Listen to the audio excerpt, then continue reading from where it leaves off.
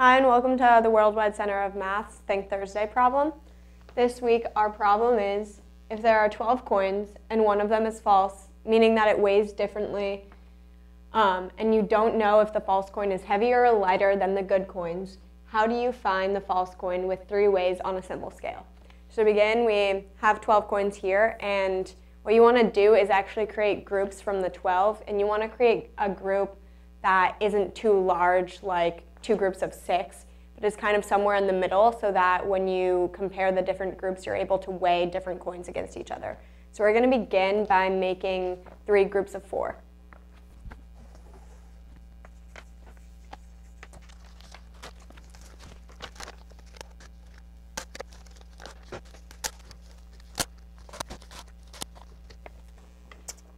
So now that we have three groups of four coins for the 12 in total, what we want to do is we're going to just weigh uh, group two and group three against each other. So if you do that, then there's kind of uh, two different options for what can happen.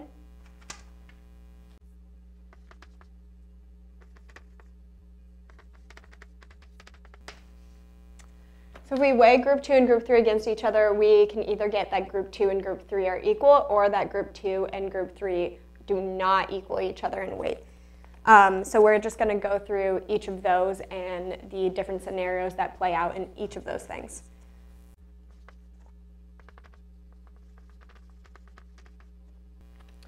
So in the case of A, where group 2 and group 3 are equal, we know that group 1 must have the false coin.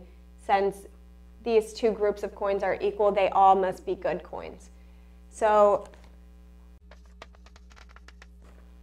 So in the case that group two and group three are good coins, then all the coins in group one are suspicious and possible to be one of the false coins.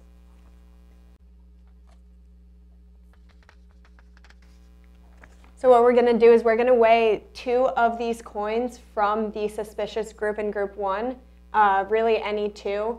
You can just take these two. So we're going to weigh these two coins against each other, and in the case that we weigh these two coins against each other, we then have two more scenarios for what could happen. So the possibilities from the beginning A is that we have A1, these two suspicious coins are either equal in weight, or we have A2, they are not equal in weight. In the case of a1, we know that then one of these two remaining suspicious coins has to be false. And what we can then do is weigh one of these coins against one of the two coins that we have other weighed, knowing that these are now good coins. And from there, we have another two scenarios for what could happen.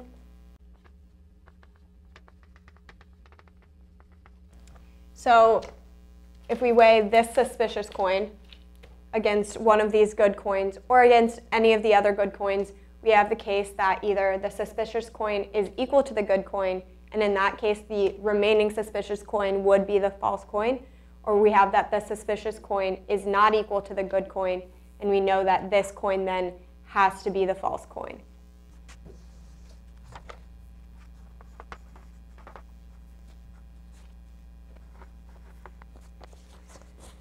And moving on to the possibility of having A2 happen where you measure these coins and they are not equal, you know that one of these coins therefore has to be one of the false coins. So we'll, we're going to do a similar thing to what we did in A1. We will measure one of these now suspicious coins against any of the good coins, which can be seen above, and you have two situations what that can happen in that case. So in weighing the suspicious coin against any of the good coins from above, we have the possibility that either the su suspicious coin is equal to the good coin, in that case also making it a good coin, and the remaining suspicious coin therefore has to be the false coin, or you have that the suspicious coin does not equal the good coin, and in that case the um, suspicious coin is the false coin. So those are all the scenarios for what can happen in the case that when you first measure group 2 against group 3, you get that group 2 is equal to group 3. So we can now move on to B, the case that group 2 and group 3 are not equal.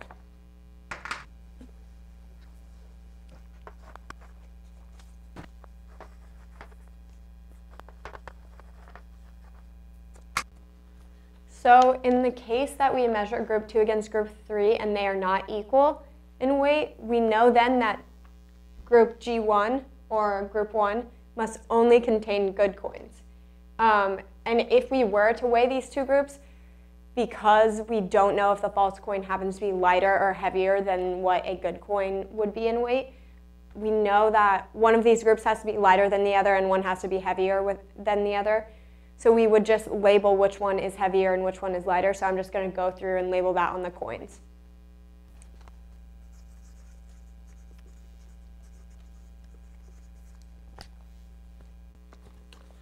So what we're going to do now is we're going to do two uh, steps to interchange some of the coins so that we can then uh, compare the weights of different groups against each other. And it singles out different coins so that we can really narrow down which one would be false and which one wouldn't. So the first step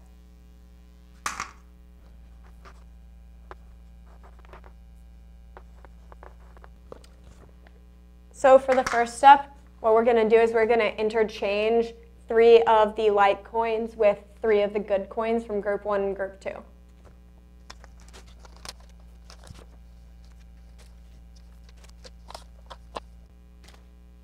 And now we're going to do a second step where we change some things up in group three.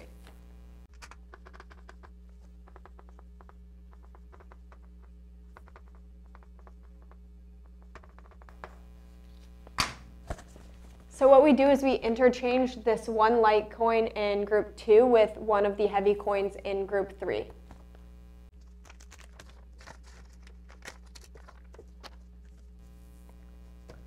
So what we've done is we've manipulated and isolated different coins. Here we have one heavy with three good, one light with three heavy, and one good with three light. And we've done this so that we can see kind of uh, the different comparisons between the coin groups and eliminate which coins are good and kind of narrow down which one is false.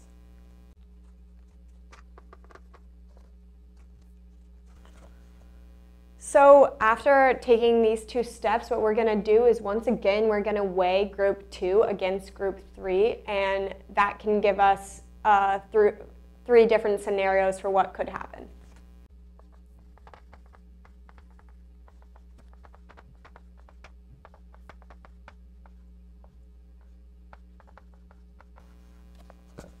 So those three scenarios are that one, G2, group 2 is equal to group 3, that group 2 is heavier than group 3, meaning that the original heavy and light positions have switched, or that G2 is lighter than G3, meaning that the original heavy and light positions have stayed the same.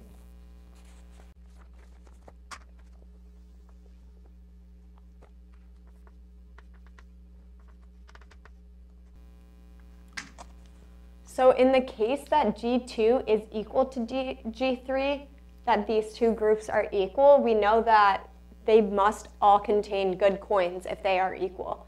So that kind of narrowed out, narrows down where the false coin could be. It means that the false coin has to be one of the three light coins in group one.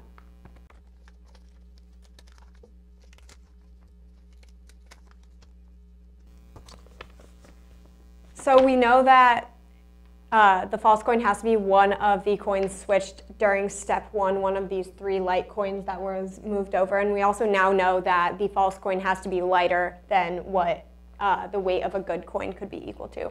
So now that we have three options for what the false coin could equal, uh, we can weigh two of these suspicious false coins.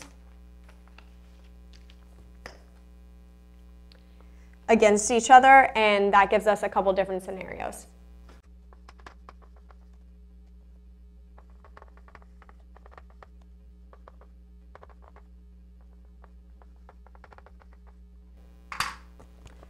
So weighing two of the three suspicious coins against each other, what we get is either the possibility that suspicious coin 1 is equal to suspicious coin 2, and that means that the remaining suspicious coin from group 1 has to be the false coin, or we get that these two coins are not equal in weight, meaning that whichever coin is lighter has to be the false coin.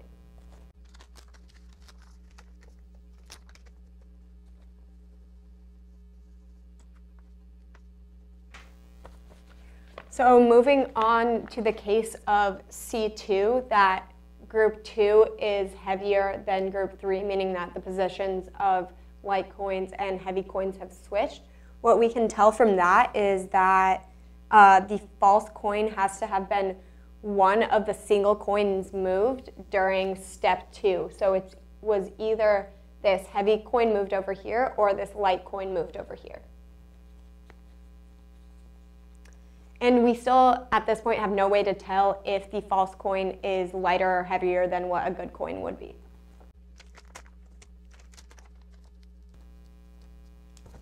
So these are the two suspicious coins that are possible false coins. And we know that all of the rest of these coins, therefore, have to be good coins. And what we can do is take either one of them and measure it against one of the good coins. And that gives us two options.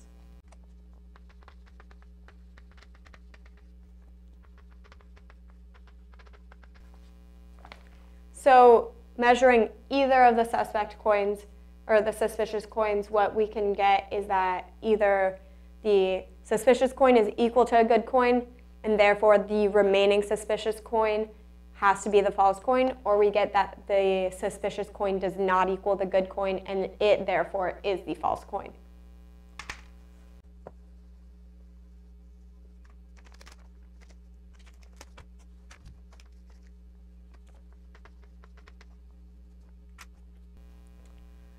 So moving on to the third case, C3, where group 2 is lighter than group 3, meaning that the original um, kind of definitions of this group being light and that group being heavy have not changed. So what that means is that when we moved this heavy coin over from group 3 uh, to join the other good coins originally from group 1, what we actually moved over was another good coin. Uh, since the weights haven't changed, what that tells us is that of these three heavy coins from group three, one of them has to be the false coin.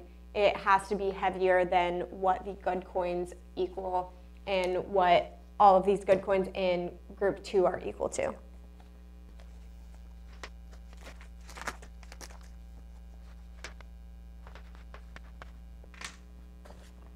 So these three heavy coins, therefore, are the suspicious coins. And what we can do to narrow down which one is false is just weigh two of them against each other. So weighing these two suspicious coins against each other, that then gives us two options for what can happen.